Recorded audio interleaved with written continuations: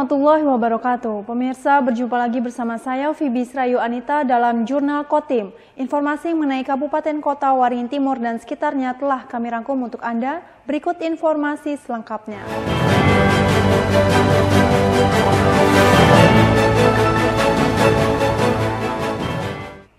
DPRD Kota Waringin Timur meminta Bawaslu aktif melakukan pencegahan dan penindakan terhadap pelanggaran pilkada. Dirinya menegaskan pentingnya pengawasan ketat terutama pada wilayah desa demi memastikan pilkada 2024 berjalan kondusif.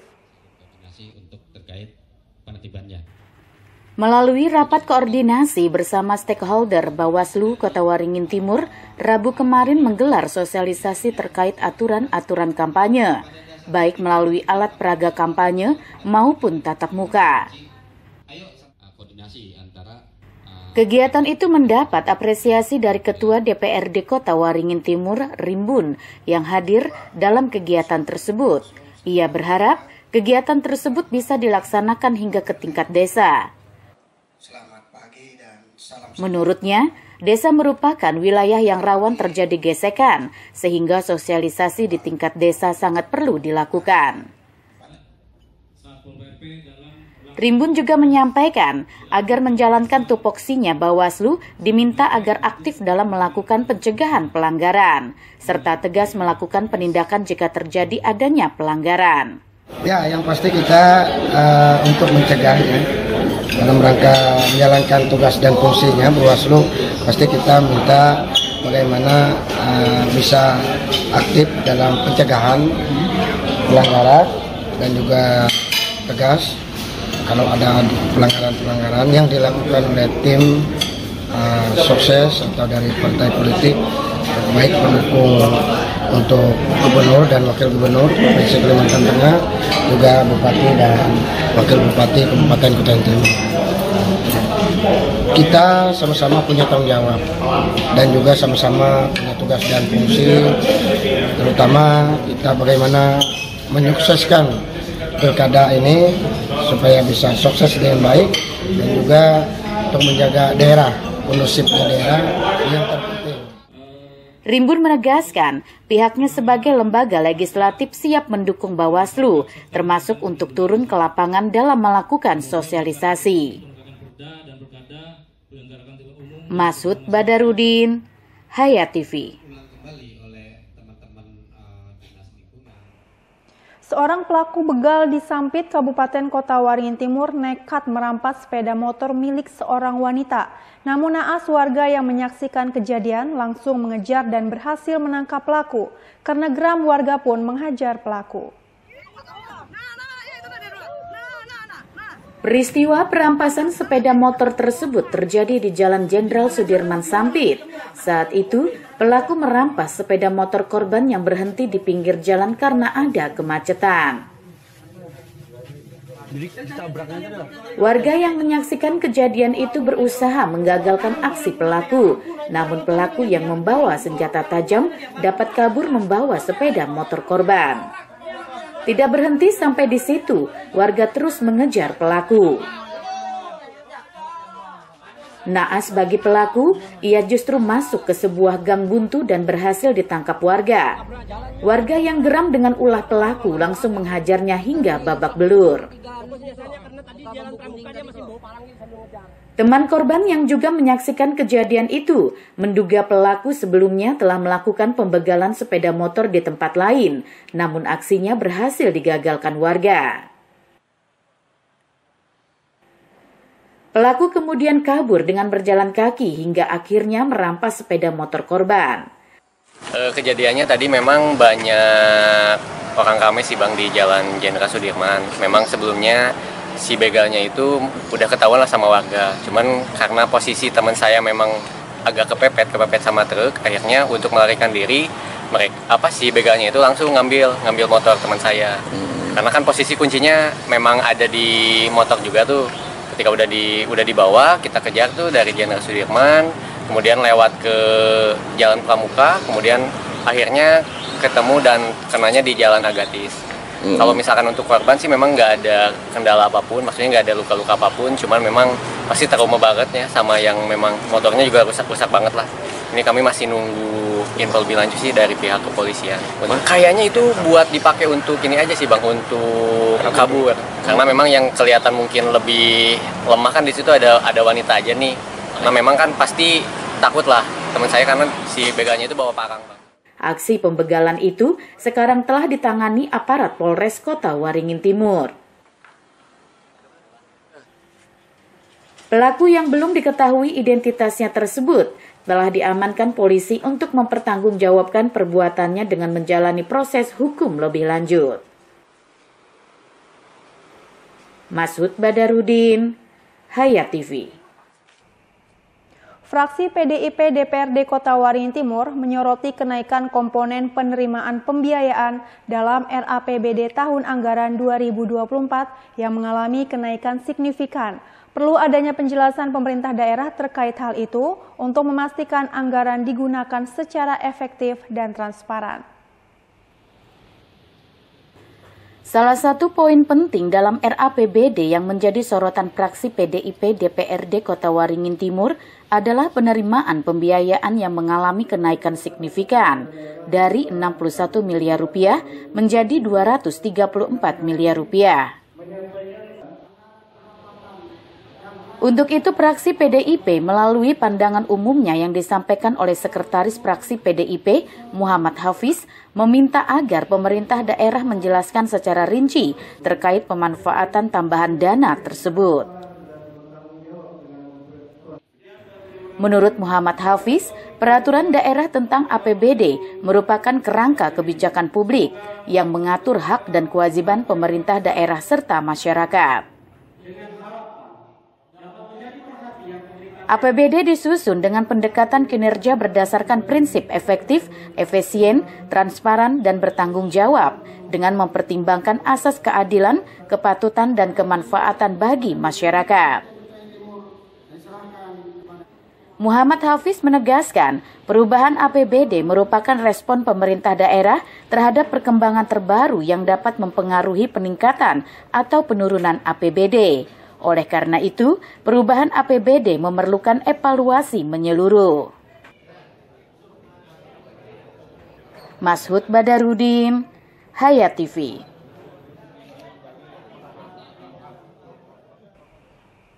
Fraksi Golkar DPRD Kota Waringin Timur menyoroti minimnya pencapaian pendapatan daerah tahun 2024. Pemerintah daerah diminta memaparkan progres program dan realisasi anggaran 9 bulan terakhir yang menurutnya masih jauh dari target. Hal itu disampaikan oleh Ketua Praksi Golkar DPRD Kota Waringin Timur, Abdul Kadir, dalam rapat paripurna penyampaian pandangan umum praksi. Dirinya menyampaikan dalam pidato pengantar Bupati Kota Waringin Timur terkait usulan RAPBD perubahan 2024. Belum ada penjelasan pencapaian program dan anggaran baik secara kuantitatif maupun kualitatif. Kadir menekankan pentingnya transparansi terkait kinerja anggaran yang telah digunakan selama 9 bulan terakhir. Menurutnya, Informasi tersebut diperlukan sebagai pijakan untuk membahas usulan perubahan anggaran. Kadir mengungkapkan kekhawatiran terkait rendahnya realisasi pendapatan daerah yang tercatat di dashboard Bapenda Kotim dari target pendapatan sebesar 2,4 triliun rupiah, realisasinya baru mencapai 69,6 persen. Termasuk pendapatan asli daerah yang masih sangat rendah dari target sebesar 585 miliar rupiah baru terrealisasi 40,45 persen. Praksi Golkar berharap pemerintah daerah bisa memberikan penjelasan dan solusi konkret untuk meningkatkan realisasi pendapatan dalam waktu yang tersisa. Kadir menegaskan bahwa peningkatan kinerja anggaran dan pendapatan bukan hanya soal memenuhi target, tetapi juga memastikan manfaat langsung bagi masyarakat. Masud Badarudin, Hayat TV. Malam penuh semangat Selasa malam menyelimuti lapangan Stadion 29 November Sampit Kabupaten Kota Waringin Timur. Konser NDXAK berhasil menyedot sekitar 20.000 penonton yang tumpah ruah memenuhi setiap sudut stadion.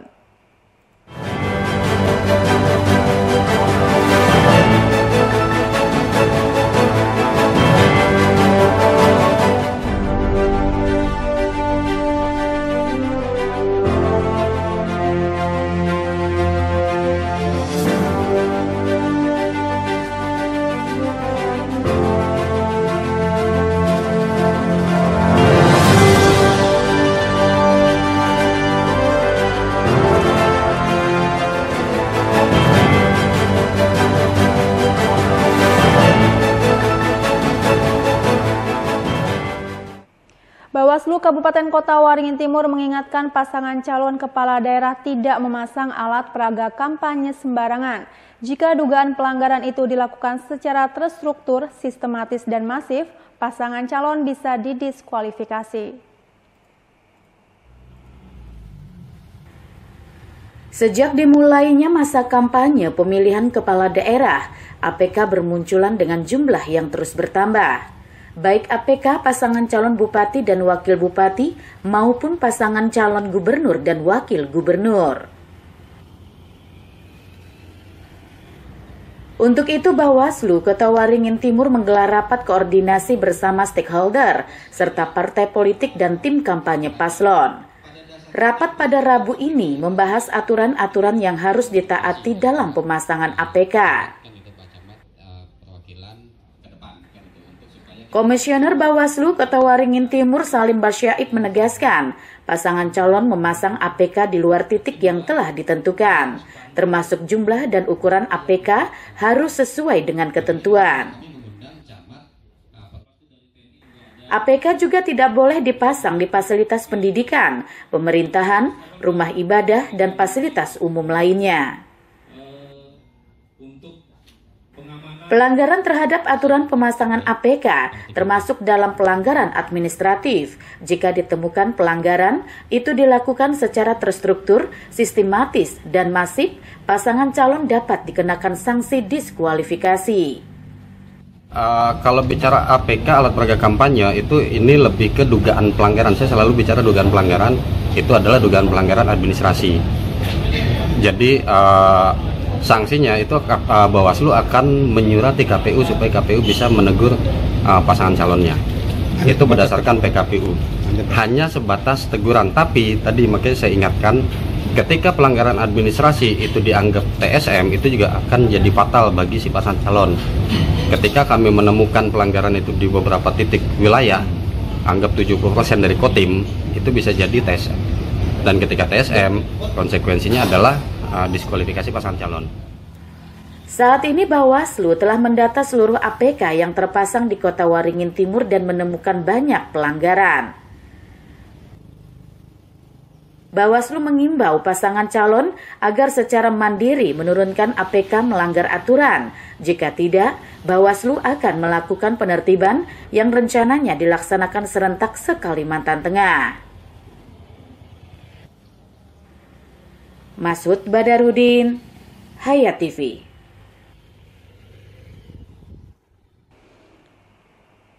Warga Sampit Kabupaten Kota Waringin Timur antusias mendapatkan paket sembako murah yang diadakan oleh pemerintah daerah setempat. Warga merasa terbantu karena mereka bisa menghemat pengeluaran. Penyaluran paket sembako murah oleh pemerintah Provinsi Kalimantan Tengah bersama pemerintah Kota Waringin Timur dipusatkan di kawasan Taman Kota Sampit pada Rabu pagi. Warga secara bergiliran membeli paket sembako dengan menunjukkan kupon yang telah mereka dapatkan dari pihak kelurahan. Paket sembako terdiri dari 1 kg gula pasir, 1 kaleng susu, 1 liter minyak goreng, 1 bungkus kopi bubuk, dan 5 kg beras. Paket sembako yang di pasaran diperkirakan mencapai Rp150.000. Saat itu, warga hanya membelinya dengan harga Rp50.000. agak lebih murah di sini kan kan satu paketnya lima puluh ribu. Kalau di anu kan sampai seratus lima puluh ribu kan jadi membantu. Apa aja isinya tadi bu paket lima puluh ribu itu bu ada ada gula satu kilo susu satu kaleng terus itu minyak goreng satu botol ada kopi sama beras 5 kilo. Bu dengan uh, kegiatan seperti ini apa yang ibu harapkan bu? Uh, kalau bisa adalah seperti ini lagi gitu.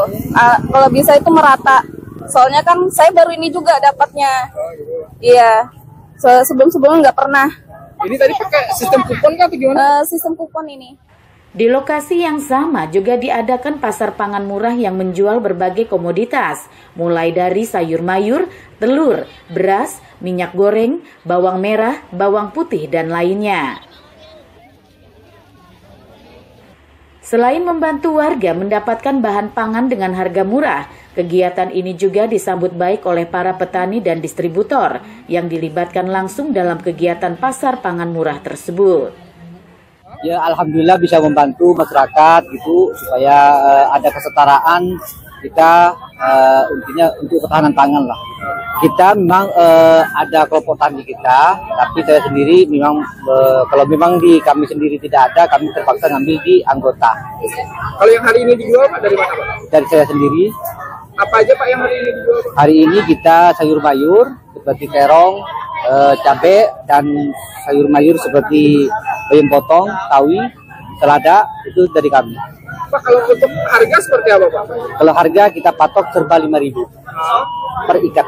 Per ikat Pak ya? Ya. Pak untuk itu memang harga di uh, tingkat petani kah atau itu harga di pasaran sebenarnya? Itu masih uh, harga di tingkat petani. Kalau, kalau di harga di pasaran mungkin ya lebih 2000 atau berapa gitu. Melalui kegiatan tersebut diharapkan dapat meringankan beban ekonomi masyarakat di tengah harga barang kebutuhan pokok yang terus meningkat. Masud Badarudin, Hayat TV. Dalam upaya meningkatkan kapasitas sumber daya manusia di bidang komunikasi publik, khususnya bagi para kontributor multimedia center atau MMC Kabupaten Kota Waringin Barat, Dinas Komunikasi, Informatika, Statistik, dan Persandian menggelar workshop peningkatan SDM dengan peserta 53 orang dari seluruh kontributor MMC di semua instansi yang ada di Kobar. Kita akan masuk Kegiatan workshop peningkatan SDM kontributor MMC Kota Waringin Barat ini mengambil tema membangun kreativitas dan inovasi untuk konten multimedia berkualitas. Tujuan di dalam kegiatan ini adalah untuk memberikan pelatihan teknis kepada para kontributor agar dapat meningkatkan kemampuan mereka dalam mengelola komunikasi publik sesuai dengan tugas pokok dan fungsi mereka. Materi yang diberikan meliputi teknik penulisan berita, pembuatan infografis, serta jurnalisme digital dasar yang dirancang untuk menunjang kinerja mereka dalam penyebaran informasi publik. Selain narasumber dari internal mereka, panitia juga menggandeng pemateri dari Persatuan Wartawan Indonesia atau PWI Kota Waringin Barat, Pokja Organisasi Pendidikan dan Pelatihan. PLT Kepala Dinas Kominfo Kota Waringin Barat Alvan Kusnaini dalam sambutannya menyampaikan pentingnya meningkatkan profesionalitas para kontributor MMC. Dengan semakin tingginya kebutuhan akan keterbukaan informasi publik yang sesuai dengan Undang-Undang Nomor 14 Tahun 2018, para kontributor diharapkan mampu menyampaikan informasi secara cepat, tepat, dan profesional. Acara kegiatan workshop hari ini tujuannya adalah untuk memberikan meningkatkan kapasitas teman-teman kontributor MNC Kabupaten Barat sehingga bisa apa lebih pemberitaan dan menyajikan berita itu bisa mudah dipahami dan terinformasi dengan baik kepada masyarakat. Karena era digitalisasi ini kan tidak bisa kita pungkiri tadi sampai disampaikan oleh Pak Asisten Administrasi Umum bahwa ada masyarakat ini dengan mudahnya untuk memberikan informasi terkait dengan hal-hal yang keseharian. Nah, jangan sampai informasi informasi-informasi yang disampaikan masyarakat ini tidak terkontrol dengan baik. Nanti ujung-ujungnya jadi, hoax dan lain-lain. Nah, sehingga ada keseimbangan pemberitaan nantinya baik dari masyarakat maupun kita dari pemerintah sehingga kita tidak lagi terbelenggu dalam kondisi hoax. Ya outputnya nanti kita harapannya ke depan dari eh, teman-teman kontributor ini memiliki kapasitas kemampuan untuk bisa menyajikan berita dengan lebih baik dan seimbang ke. Kira. Asisten 3 Pemerintah Kabupaten Kota Waringin Barat Syahrudin yang mewakili PJ Bupati Kota Waringin Barat Budi Santosa turut menyampaikan apresiasinya terhadap kegiatan ini. Di mana menurutnya workshop ini merupakan langkah strategis dalam meningkatkan kapasitas komunikasi dan penyebaran informasi di era digital saat ini. Kegiatan tersebut mencerminkan semangat kolaborasi untuk meningkatkan kualitas penyampaian informasi kepada masyarakat di tengah gencarnya berbagai informasi dan berita dari masyarakat. Syahrudin juga menekankan pentingnya kemampuan adaptasi terhadap teknologi informasi di era digital ini. Menurutnya, teknologi multimedia membuka berbagai peluang sekaligus tantangan dalam hal penyampaian informasi. Oleh karena itu, workshop ini dirancang untuk membekali para peserta dengan pengetahuan dan keterampilan yang relevan, sehingga mereka dapat memanfaatkan teknologi multimedia untuk menginformasikan masyarakat secara menarik dan efektif. Selain teknik penulisan yang baik, peserta juga diajak untuk memperdalam strategi distribusi informasi yang tepat sasaran. Materi yang disampaikan diharapkan mampu membantu para peserta menyajikan informasi yang akurat, relevan, dan bermanfaat bagi masyarakat luas.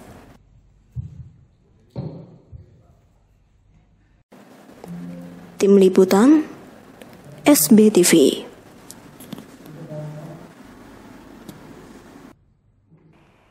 Sebanyak 50 peserta yang berasal dari kelompok pembudidaya alpukat, para penyuluh pertanian pendamping, para guru SMK yang ada di Kobar antusias mengikuti kegiatan pelatihan budidaya alpukat yang diselenggarakan oleh Dinas Pertanian Kabupaten Kota Waringin Barat. Budidaya alpukat di Kota Waringin Barat merupakan sub kegiatan pendampingan penggunaan sarana pendukung pertanian oleh Dinas Pertanian Hortikultural Kabupaten Kota Waringin Barat, Kalimantan Tengah. Pelatihan budidaya alpukat ini bertujuan untuk memanfaatkan lahan kosong yang tidak dimanfaatkan agar dapat kembali produktif sehingga turut menambah pendapatan warga. Kepala Bidang Hortikultura Dinas Pertanian Kota Waringin Barat, Adi Budiarto menjelaskan, budidaya alpukat ini sedang berkembang dan banyak menanam di masyarakat Kota Waringin Barat. Namun sering kali mereka kesulitan dalam membuahkan. Oleh sebab itu, dalam pelatihan ini ditekankan pada teknik pruning, pemangkasan, dan pembuahan dengan narasumber yang sudah berpengalaman dari Wonosobo, Jawa Tengah. Peserta yang berjumlah kurang lebih 50 orang dari kelompok pembudidaya alpukat. Kemudian para penyuluh pertanian pendamping dan guru-guru SMK ini sangat antusias mengikuti pelatihan berupa teori dan praktek pada sore harinya.